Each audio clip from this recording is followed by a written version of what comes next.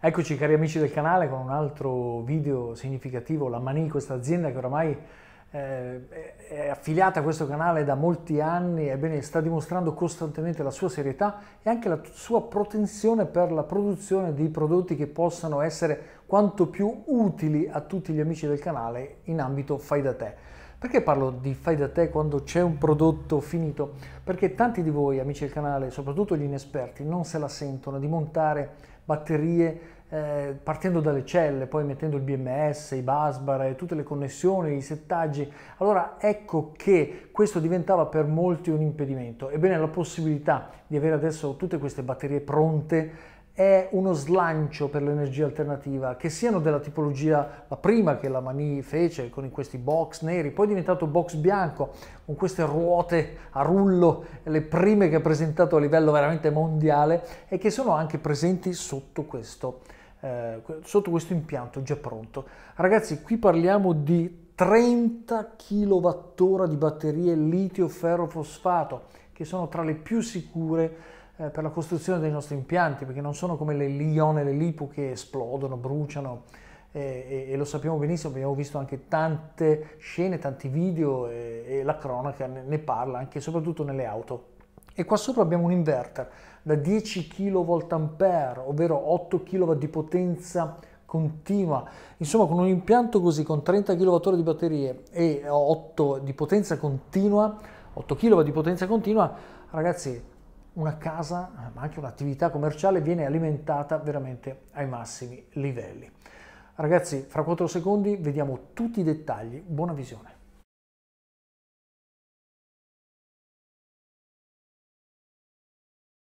Ebbene ragazzi, la prima cosa che voglio dirvi è che l'inverter che c'è qua dentro è esattamente l'inverter che avete già acquistato singolarmente, questo esterno.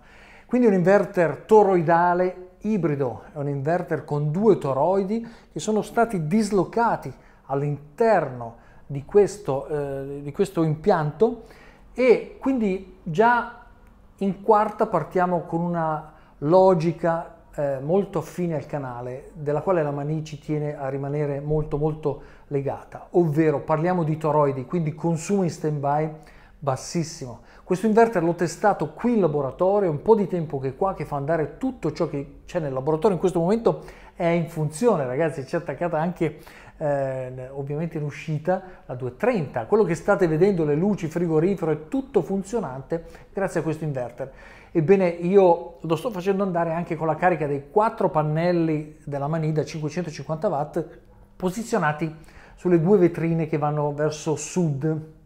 Ebbene, ragazzi, la carica di questi pannelli che sono posti in verticale sulle vetrine, quindi già hanno anche il freno del vetro, ebbene sono sufficienti per caricare, eh, non solo mantenere questo inverter, ma questo perché è possibile?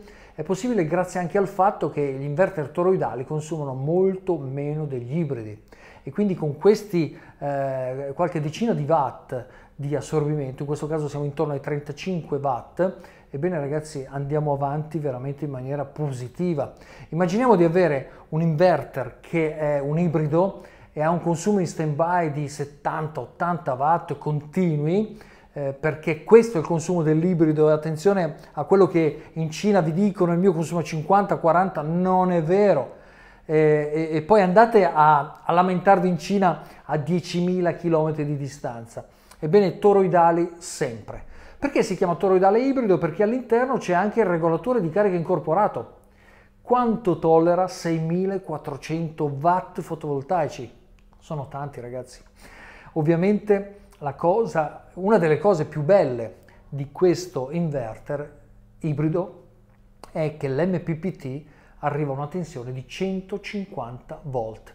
Quindi ancora una volta siamo all'interno della sicurezza. Comprare una macchina all in one con tensioni intorno ai 500 volt massimi che non lavorano a meno di 200 volt in maniera eh, sicura. Cosa intendo? Eh, se noi abbiamo un MPPT che lavora a 500 volt, di solito c'è scritto da 90 a, 100, a 500 o da 120 a 500, ebbene a 90 non lavora perché si andrà in blocco continuo. Questi inverter ibridi che siano come qua, in, come questo, in una struttura a sé o che siano all'interno degli all-in-one, ebbene hanno una condizione per cui devono lavorare per forza a tre quarti o quattro quinti della loro massima potenza.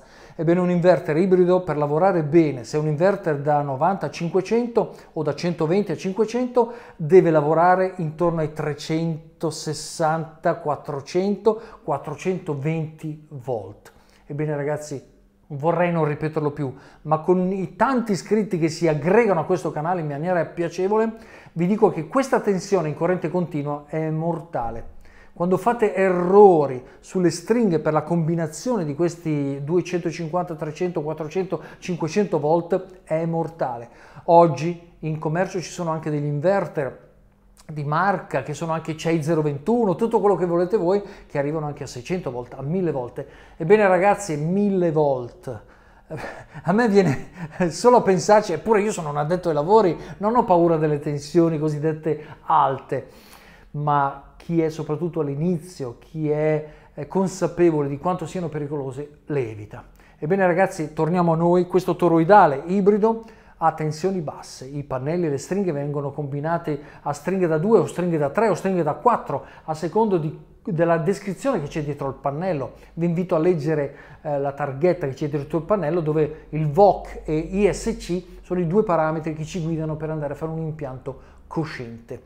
Ebbene, con questo impianto, lavoriamo in sicurezza e arriviamo praticamente dai pannelli, facciamo stringhe da 3 o stringhe da 4, ci sono dei pannelli da 400 watt che sono eh, 34-35 volt, ebbene possiamo anche fare stringhe da 4, alleggerire quelli che sono la quantità di cavi sul tetto e arrivare direttamente al combiner box, passare dal fusibile, andare nelle barre equipotenziali, uscire dal magnetotermico ed entrare qua Qui ci sono due ingressi, anche se poi in parallelo vengono accomunati, cioè vengono raccolti ancora in un parallelo. Quindi noi possiamo arrivare su due connettori posteriori e entrare all'interno di questo macchinario eh, in maniera tranquilla, in maniera serena, perché quando abbiamo costruito stringhe da 140 volt VOC, in realtà lavorano a 120, 130, 110 ed è questa la sicurezza che voglio sempre eh, mantenere su questo canale. Andiamo avanti con altri dettagli descrittivi. Bene, la prima cosa che voglio fare è avvicinare la telecamera per farvi vedere tutto l'esterno eh, di questo impianto in modo che andiate a capire anche la qualità dei, dei, dei materiali che sono stati utilizzati. Dopodiché aprirò l'inverter e vi farò vedere dentro la stessa composizione di questo rapportata su un case. Um, buona visione e buona riflessione ragazzi, quando realizzate un impianto dovete sempre calcolare tutte le componenti che sono la prima, quanto consumo a casa mia e aggiungete anche quanto potrei consumare se la corrente fosse gratuita perché questo accade ed è per quello che diventiamo energivori. Il terzo aspetto è dove installerò i pannelli e qui sempre l'avete visto, spendo una parola riguardo dei cari amici che vivono nei condomini che non hanno gli spazi, non hanno i tetti, non hanno i prati. Ebbene anche per loro c'è sempre qualche video e qualcuno partirà anche a breve per andare a capire come ottimizzare gli spazi, ma tenete presente che purtroppo la prerogativa fondamentale, sine qua non, inevitabile, è avere uno spazio per appoggiare i pannelli che producono, eh, lo, lo, ricordo per alcuni perché mi è stato mh, posto come domanda, eh, soprattutto dai nuovi. Eh, ricordate che il, il, sole scarica a terra circa 1000 watt al metro quadro, la capacità scientifica umana è arrivata adesso a circa il 25%, significa che ogni metro quadro noi possiamo produrre al massimo 250 watt. Quindi quando calcolate la vostra metratura del tetto, del balcone, del terrazzo, delle, delle gronde, di quello che volete voi, ebbene sappiate che possiamo produrre 250 watt al metro. Quindi non fatevi ancora una volta abbindolare da chi dice questo è un pannello di nuova tecnologia, produce il doppio degli altri. No, il doppio quanto è? Il 50 magari. Adesso con 4 metri quadri spaccheremo le orecchie ai cinghiali, si diceva in gergo. Assolutamente, quindi il 25% è il massimo, ma c'è anche il 24, il 23, il 22, il monocristallino un po' di più, eh, il policristallino che tra l'altro nessuno adesso più produce era ideale per quella che è una condizione panoramica generale di installazione. Il monocristallino va bene soprattutto per gli inseguitori, ma oramai abbiamo monocristallini che sono anche un po' più longevi e quindi va bene così. La differenza non era esagerata, le nuove tecnologie stanno portando ad avere adesso pannelli di, di qualità e con qualche decimo di, di, grado in più di produzione che ogni anno eh, sale e che ci fa ovviamente piacere. Sono scesi anche i costi, avete visto, oggi si può fare veramente un impianto non più come un tempo, ma i costi sono veramente molto molto eh, ridotti rispetto al passato. Abbiamo anche i pannelli usati ragazzi, questi sono utili per chi vuole imparare ma anche per chi vuole fare impianti a basso costo e avere pannelli da 20-30 euro è sicuramente conveniente. Vediamo adesso di avvicinare la telecamera. Ebbene questo è esattamente l'impianto pronto, batterie 30 kWh e inverter. Qui vediamo il solito pannello di controllo che serve proprio a, a vedere quelle che sono tutte le varie eh, condizioni dell'impianto con i quattro tastini e qui abbiamo anche la batteria che ci segnala le condizioni, vedete? Qui nello state of charge abbiamo un LED acceso, significa che la batteria si trova al 25%, eh, run significa che tutto sta andando bene, se non ci fosse qualcosa di, di positivo ci sarebbe alarm. Bene, qui è tutto ragazzi metallo, tosto, proprio eh, parliamo, non, non, suona come una lamiera ragazzi, questo suona come proprio una, una, una barra di metallo e qui sul lato abbiamo le maniglie ovviamente per l'eventuale trasporto e abbiamo gli interruttori di accensione delle due batterie, vedete? Questo è l'interruttore di accensione numero 1 e numero 2 delle batterie. Ragazzi le ruote io qua adesso non riesco a farvele vedere ma sono le solite della Mani, cioè ruote, eccole qua, sì, ruote di un certo livello, cioè sono le cosiddette ruote a rulli, adesso vediamo se, eccole qua, vedete? Cioè la, la, la qualità è eccezionale.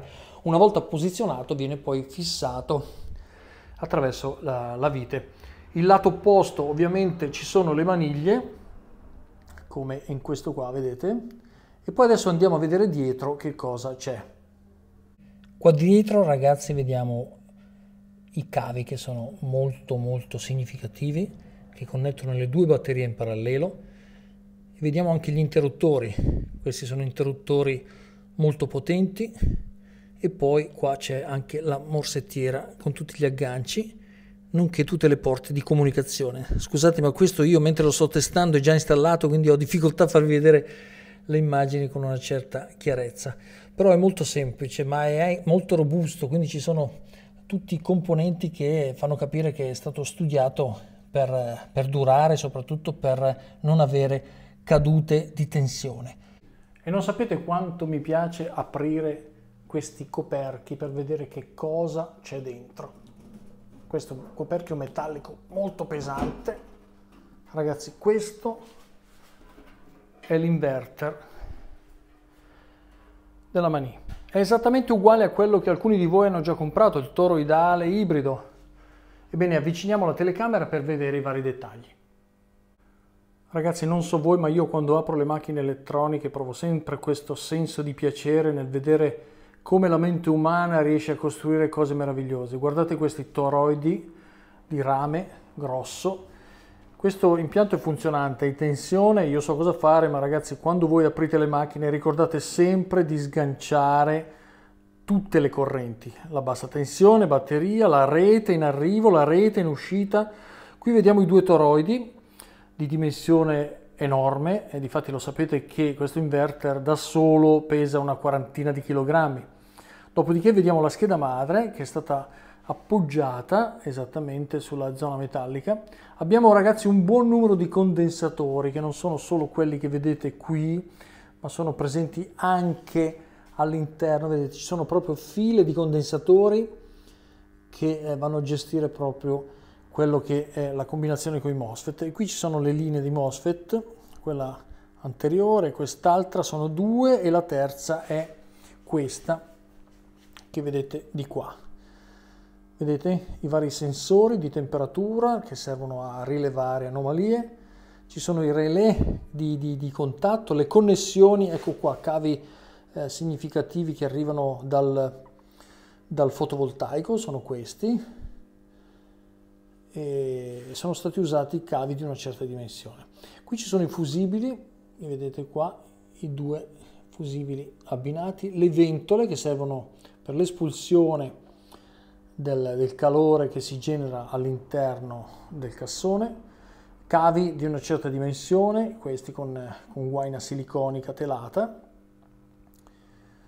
e, insomma, esattamente qui non mi dilungo perché è esattamente quello che avete già eh, visto nel video precedente riferito all'inverter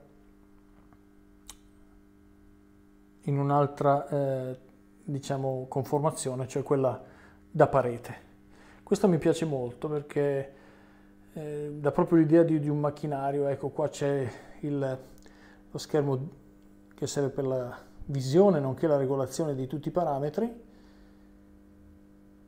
e abbondanti griglie ovviamente affinché l'aria possa liberamente entrare ed essere espulsa poi da queste.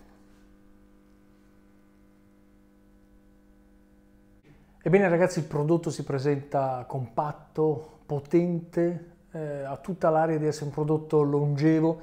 I materiali usati li avete visti, cavi grossi tra batterie per le connessioni varie, connessioni certe, toroidali che non sbagliano mai, basso consumo in stand-by, insomma tutta la potenza che ci serve per casa nostra. 8 kW sono veramente tanti, sono più del bestione arancione, eh, del quale sono ovviamente sempre affezionatissimo. Vi ricordo che attenzione, il bestione arancione fino a 6 kW è toroidale, se pigliate il 12 kW è lamellare, quindi il consumo in stand-by è sicuramente più alto. C'è anche il manuale con eh, alcuni cavi, delle connessioni, eh, insomma alcune cose che, possono, che servono indubbiamente per l'installazione. Ragazzi, penso di aver fatto un video chiaro, semplice, non lungo, ma che possa aver fatto capire a tutti gli amanti del fai da te, gli amanti del fotovoltaico e soprattutto gli amanti della bolletta a 0 euro e casa no gas, che sono le due prerogative fondamentali di questo canale, che si può fare. Si può fare non è una frase mia, ma viene da un famosissimo film che sicuramente anche voi conoscerete eh, e avrete visto. Eh, ragazzi è tutto per questo video, se vi è piaciuto questo prodotto, se la Mani vi sembra l'azienda che realmente è, eccetera, insomma mettete un like e iscrivetevi a questo canale perché così andremo avanti unitamente per riuscire a portare quanti più di voi in qualsiasi condizione, con qualsiasi consumo, a bolletta 0 euro. Al prossimo video.